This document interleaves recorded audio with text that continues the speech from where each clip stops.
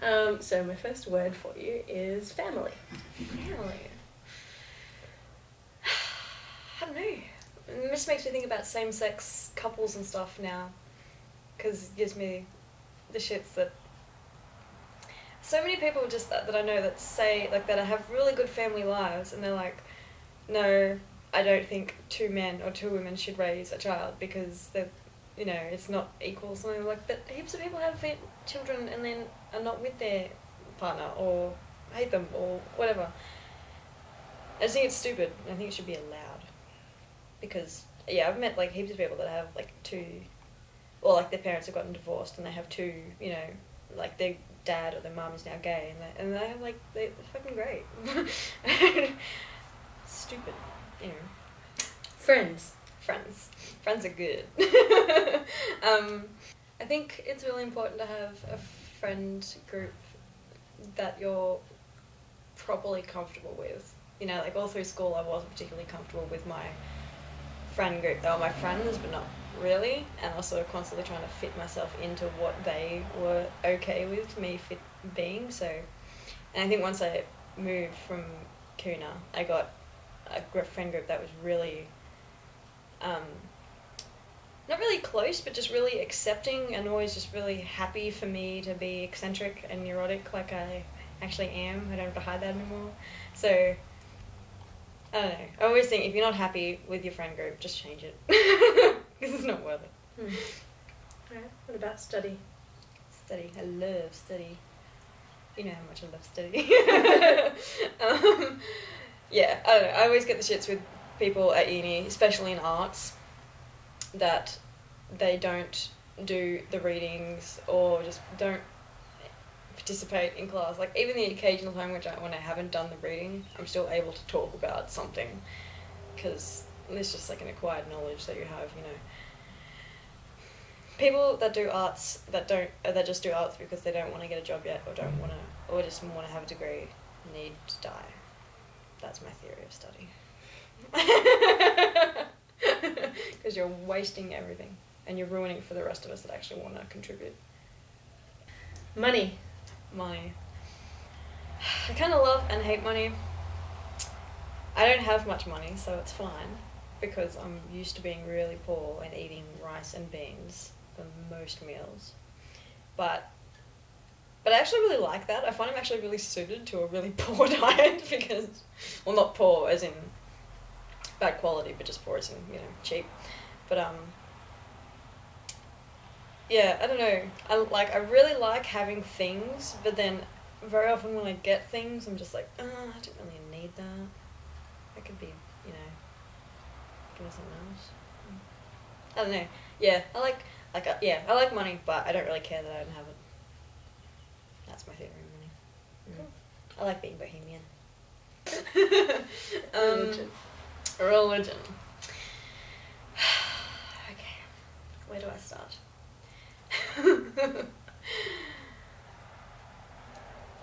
Religion is like a big dick. I don't care if you have it, but don't wave it around and don't shove it down my children's throats. And yeah, I suppose it's. I mostly have problems with Christianity and mainly Catholicism, but that's because I grew up in a Western country. I think, like, generally, I have problems with just the organization of religion. I'm quite happy if someone wants to. You know, I, I, it's it's quite a human need, I think, to have some sort of higher motive for doing the things that you do. But I'm also a positive nihilist as far as Nietzsche's concerned. I'm a Ubermensch or something like super. He calls pos- positive nihilist Superman because it's just like, no, we know that there's nothing, but we're co- totally okay about that. Mm. so when I find religion saying that you know there's God and or there's many gods and well there's possibly a God, I'm just like, Shh, who cares? If he's if he's a God, then if there is a God, then he's clearly unjust or you know something. So I don't really want to have anything to do with him, even if there is one. And I'm pretty sure there's not. when you look back on most religions and how they got started, just like yeah, you started as a business. Mhm. Mm. And what about um, the role that religion, any role that religion has played throughout your life? Uh, religion hasn't really been a big one for me. Like I was baptized Anglican, but I whinged my way out of Sunday school when I was about five, I think, or like pretty much. I only have like sort of one very vague memory, so I'm pretty sure I was young. And then I also whinged myself out of doing religion studies by year five, I think, or year six.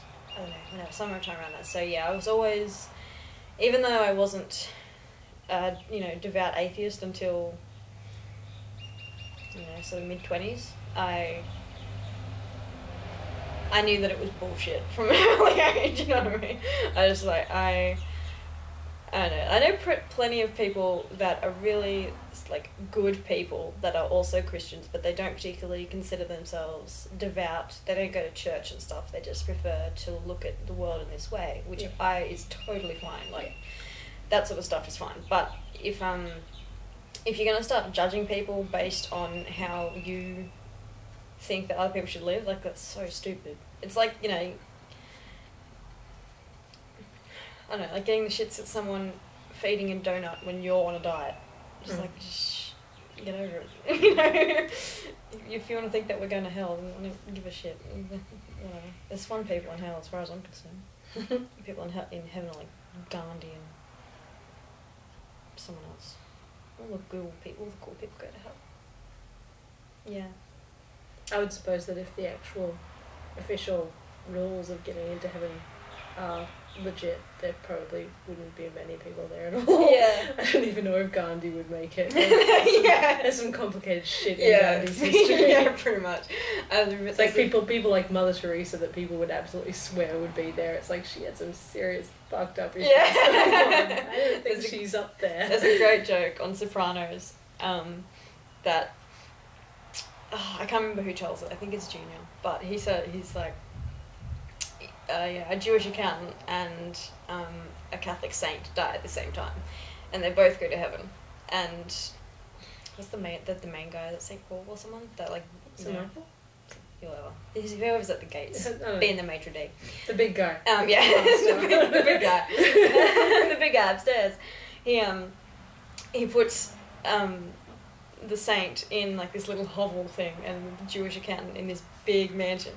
And the saint's like, you know, come on, guys, like I'm a saint. Why, why don't I get a big mansion? He's like, you, we've got so many saints up here. This is our first Jewish accountant. Like, oh. I like that joke. Mm. Shut up. How rude. We're in the middle of something. Yeah, don't you know I'm filming a movie? Oh my god. Oh my god. So rad. Pins and needles, pins and needles, pins and needles. Yeah, this is why I've got a bad back, you see, because I'm constantly sitting. Because you sit bad. Wow. Yeah. That's amazing. yeah. I can barely pick up anything. I should try this hand. Yeah, Wow. that one is tall. yeah. Awesome. Oh. I was made for porn. Everything was big in these. Food. Food. Well, coming to my poor rant before. but I like, yeah, I like good food, but I'm very used to living on brown rice and beans. What's in my cup? Staples What's in my cupboard at the moment? Brown rice, beans, tins of pineapple. They're my little treats. Um, baked beans. Oh yeah, I've got like normal beans and then baked beans, just to spice it up a little bit. I got porridge. I got cornflakes. I got coffee. I got tea. I got Scooby snacks. Yeah, that's about it. I got one packet of two minute noodles in there at the moment. I don't know why I haven't eaten that. But yeah, I'm really basic. and I think it's food is often a big problem with me because I'm not um, because when I'm working, if I have to get up and break my mode and start cooking stuff, it just gives me the shits. So I just, if I don't have something I can just grab out of the fridge and eat right away, I'll just drink coffee until I'm actually having a break. So this is why I'm so skinny because I actually do eat a fair amount of shit generally. Because Nick buys it for me Mm. like a bastard. Takes me out to dinner. Awesome. Jeez. Oh, Why are you even with the it? nerve. I don't know. Fucking nerve. Ruining my diet.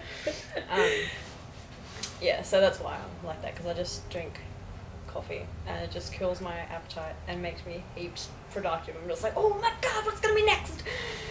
Doing the work, and then I'm like, yeah, I'm being so productive. I don't want to stop and eat now. I've gotta keep on doing more. yeah, it's a it's a bad cycle. when you realise I haven't eaten in three days, I should Yeah, I'm like, oh, and then I wake up the next morning. And I'm like, oh god, why well, I'm in pain. And I was like, oh yeah, because I haven't eaten anything yesterday. My stomach is probably about that small. Probs. it's probably not healthy. pets, pets. I love my pets. I have a little yabby at the moment. Have you met Michelle? No. She's my baby. She's my my little crustacean, and I talk to her in all sorts of weird accents. She comes over, she's like scuttling along the side of the tank looking for stuff, and she's like, "Oh, Michelle, what are you doing? Your little crustacean." And she gets all my love transposed from what I'd normally be giving to dogs to my little Yabby, who I can't actually pet. But she gets along the the tank and Eva kisses on her belly. and I don't think she knows, but she likes it. But I think it's very important to have pets. For kids especially. So I've learned to like not get along with other things but learn what other things don't like and stuff, you know what I mean? I was reading a really cute story actually once. Um, the guy uh, he's Augusten Burroughs' brother. So Augusten Burroughs is the guy that wrote Running with Scissors, I think. Um, and it's his brother, and he wrote a memoirs. And he's actually the guy that designed all the um, the flaming guitars and stuff for Kiss. But he has Asperger's, and when he started preschool, he had no idea how to interact with other kids. And but he had a dog, and he knew that the dog liked being patted. So he was patting one of the other kids, and so the other, the other kid hit him. And so then he was trying to pat him with a stick from afar away so he wouldn't get hit. I'm just like, oh, you're so cute. But, but that's nice, you know, like, you know, like, you know, dogs like affection. And it would, does make sense that people like affection too. It's just maybe, you know, not Different people sort of you've kind just of met. affection from Yeah. yeah, but I always think that's, uh, I love that story. So cute. Cool. Sleep. Sleep, well. Hmm. I take sleeping tablets nightly. I don't know if you know that actually. Yeah, no, but I do. I was diagnosed with insomnia like in 2007, I think. 2007, yeah, sounds right. Um, and yeah, now I have to take sleeping tablets nightly because all through pretty much from when I was 15 to after the HSC, I was getting two hours of sleep a day, like at the most. And for that reason, I was incredibly depressed and anxious and all sorts of bad things. So yeah, now I have to take sleeping tablets nightly. But um, yeah. So I always understand when someone's like, "Oh my god, I'm so tired, I haven't slept." I'm just like, I'm sort of, I understand. Cause I'm like, yeah, I know how that is. But at the same time, I'm just like, harden up. I've got You no- have no idea. Yeah, you have no idea what it feels like to be tired. Because I was a zombie most of the time, you know. Books. Ooh, books. Where do we start with books? I love books. The thing that I'm, that's pissing me off about books lately is fucking bookstores. They kill me. Like, book depository is fine because I can just search for whatever I want and it comes up. But mm-hmm. Bookstores, like all books for less and stuff, like they're not real bookstores. Like they're the pulp bookstores. And even when you go to Unleashed or something, or or Kinokuniya is in a league of its own. That's that's that's fine. but um, even when I go to Unleashed in like Miranda or somewhere, I look in the literature section, and it's got like like Maeve Binchy or some bullshit. I'm just like, that's not literature. Really? Really? like, that's not even contemporary literature. That's just, that's, no. Like, no. It's like putting Bryce Courtenay in literature. It's like, mm, he's not though. Have you Mm. read literature? He's not that. and just the, the amount of absurd celebrities that keep bringing out biographies. Like, you know, Paris Hilton or Kim Kardashian, like Neo Paris Hilton. I was just like, I don't care. Like, my first favorite book, book, like, you know, with no pictures, was, I think, That's very elitist of you. Um, it was called uh, Vanilla Fudge or something like that. It was about a cocker spaniel, and he had, um, you know, it was one of those books that, you know, both like there's two different girls and they both think that they own the dog and they both lose him at consecutive times and then he ends up with the other one. And they finally meet and they're like, that's my dog! And it's like, no, but he has a love heart mark under his ears. This is how we can tell. And that's all lovely. That was my first book and that I really loved that I got from Scholastic Book Club. Remember that? Mhm. Love Scholastic. Um, yeah, and I suppose, I don't know, but I really didn't get into reading literature and stuff until, until I started uni, I guess. I the only literature I'd had of anything to do with it was Jane Austen, and that sufficiently killed literature enough for me, because I hate Jane Austen. But I know, I know we differ on that. That's uh, so I Okay. won't, you know, I'll let you. I won't push It's okay. buttons. I think in the last three years, not, inclu- well, not including this one, I've read almost 300 books. So most of my reading has actually been the last, since I started uni. Because before that I sort of read like, you know, like shitty fantasy and stuff, which I enjoyed, but now I'm just like, oh, but there's literature. Yeah. Um, dating. dating. Yeah, I don't know. Well, there you go. I don't understand dating. Or I don't. It's not so much I don't understand dating. It's that I don't understand people generally. Luckily, I have found someone that also doesn't understand people, and we're therefore really good together. But before that, I was just. I don't know. I don't understand the dating thing. I don't want to do it. I think the most, the biggest thing for me was that if I had a choice to spend time with this person or myself, I would rather spend time with myself. And this is what all past boyfriends have had trouble with me because I'm just like, no, no, just go away. I will have sex with you later. Um, or now, as long as you go away after. I don't care. But yeah, with Nick, it's more like, like, oh, you're here. You know about you. You're lovely. um, yeah, but generally, I don't understand dating. Generally, I'm quite okay to just be with myself, so I don't feel the need to date. Or I don't feel, and I also don't look. I also don't find many people attractive on first appearances. I need to get to know them, and then only if they are a certain level of intelligent will I find them attractive. So I often don't register that people are good looking or not on first meeting them. So I don't often want to date anybody. So you kind of a bit of a what's it called? Safe, Sapiosexual? Yeah. Yeah, I'm big old sapiosexual, which I'm Yeah. totally fine with. yeah. Intelligence is sexy. Oh, it's so sexy. God. I just want to lick people's brains. Speed. Speed. Whether it's like the speed of life or speed as a drug or Yeah, so like speed, speed just makes you think of speed as the way that life goes too Um, quickly. Anything to do with speed. Hmm. Then I'll, I'll let you know from here the topics are getting a little more abstract and a little more deep Okay. and significant rather than food or Yeah. whatever. Okay. Speed. Speed. I suppose it just makes me think of efficiency because I'm a big one for efficiency and people get in my way I get really shitty. I'm just like even like like Nick's takes sort of takes a while to hurry up about stuff and I don't think he realizes that I'm in a rush but I'm just like come on come on come on get up get up I'm gonna make bed I'm just like come on you gotta do this because otherwise you're making tasks like tasks that take 10 minutes all up take like three hours because you won't get out of the way um, so yeah as far as that's concerned i'm sort of i prefer to be on the go rather than taking a lot of time. But i don't know speed of life i don't think it's going that quickly. Not not mine. I suppose it's because i've been you know in student life for so long.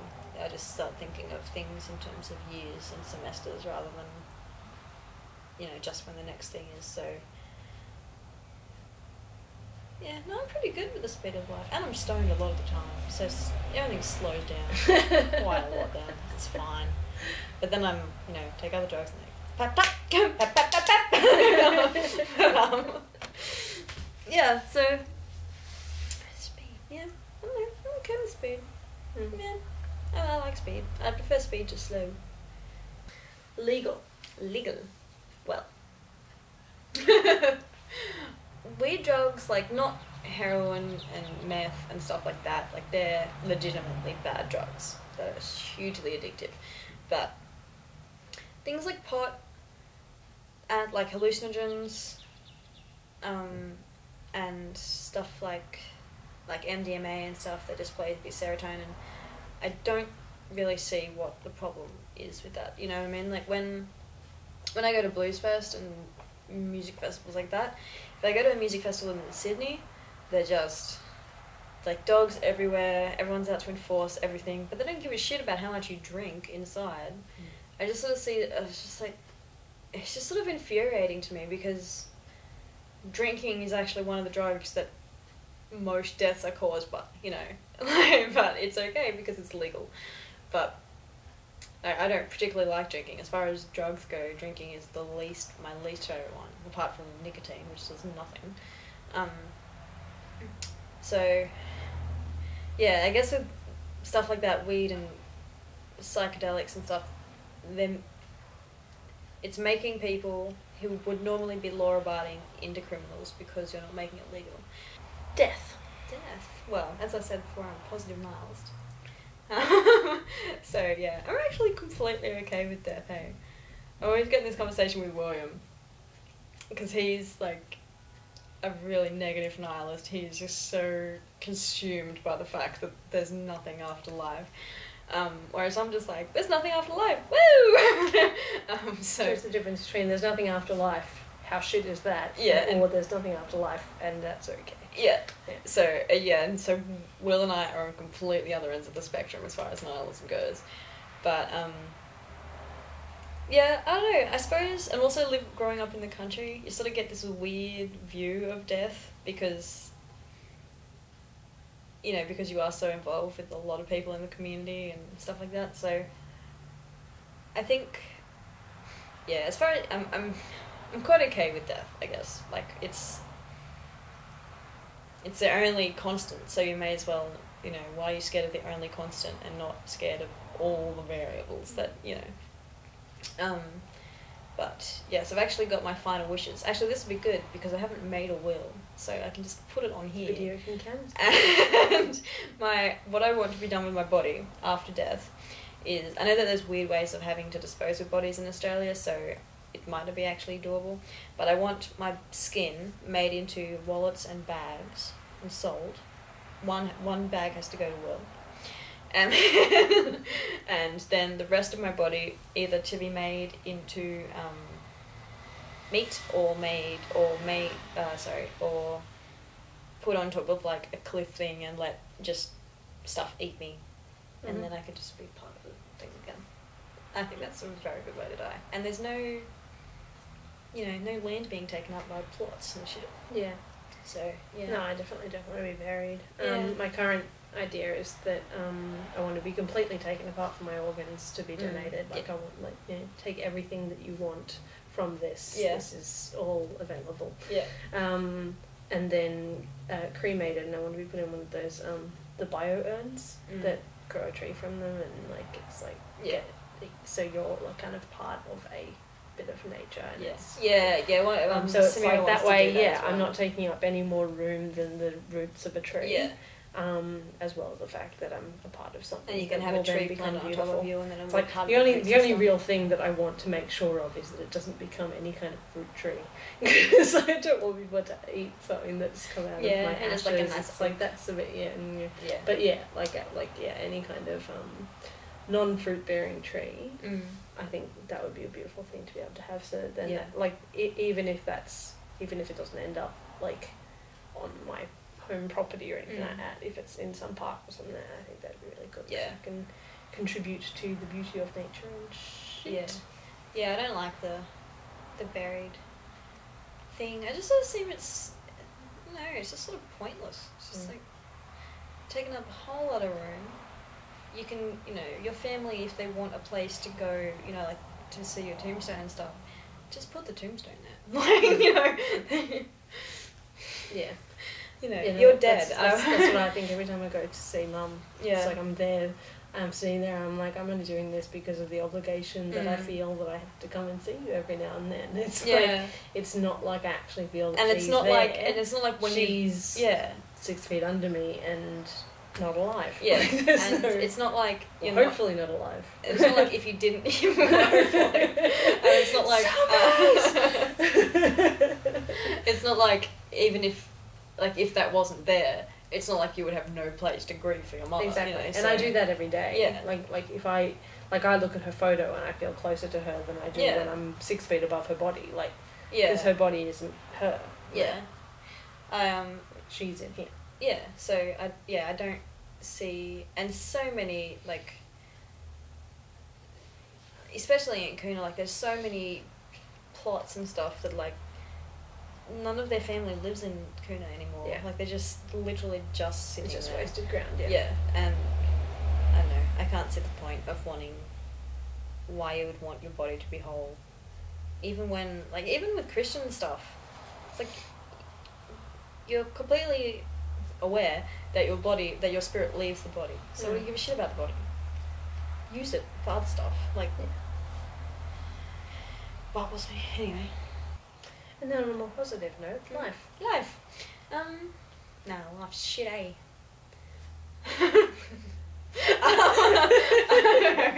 I like life. Life is cool. Um, yeah, I don't know. You often get that feeling that you're wasting life. I hate that YOLO shit. Oh my god, YOLO. I keep saying stuff like YOLO about stuff that's not really anything to do with YOLOing. It's just like, you know, paid up on more rent, YOLO. just actually, I was really want to start using that for things that like it actually applies to, like you know, wear your safety glasses while welding. YOLO. YOLO. like, have, you, have you heard the Lonely Island YOLO? No. The Lonely Island just released a, Oh a, a song called YOLO, um, but the entire song is made up of things that are legitimately Yeah. things that like like wearing my safety helmet because you only live once. Yeah. Um, and then and then at the end, the, they they have Y O L O, and it comes out with um, something. I can't remember what you ought to look out or something like that. Instead of you only live once, you you ought to look out. yeah. Um, and it's it's very funny, but it's yeah, it draws attention to the whole Yeah. the actual why you only live once is Yeah. yeah. not not yeah Yeah. stupid swag YOLO Oh. swag hashtag YOLO. oh my god, it kills me. I just say it about stupid stuff now, just like, no, just I just say it after every sentence, just like gonna make Made a cup of coffee. tea, YOLO, YOLO. But it's so it's just it's so addictive to say it because it's you know such a neat, nice little punchline. But when I hear people actually saying it, I'm just like, kill yourself, just die. But yeah. um, yeah. Yeah, I don't really have much to say about life, I guess. It's just one of those things that's happening while I'm on my iPhone. Not that I have an iPhone, not a smartphone. But, That's deep. I know, right? Life. It's what's happening while you're on your phone. yeah. It's happening around you. Um, yeah, I often, I often feel like, especially with reading and stuff, that I should actually be going out and having experiences. But I actually really enjoy reading. Like,